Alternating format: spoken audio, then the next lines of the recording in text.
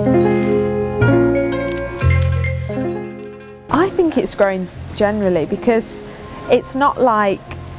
there's a men's race next to it, it's just a women's race on its own that people are coming coming out to watch. And I think like so many of the international riders couldn't believe the amount of support that they had. Just everywhere like your ears are just like hurting but it's obviously a good hurt but like it's just yeah incredible the amount of support that we have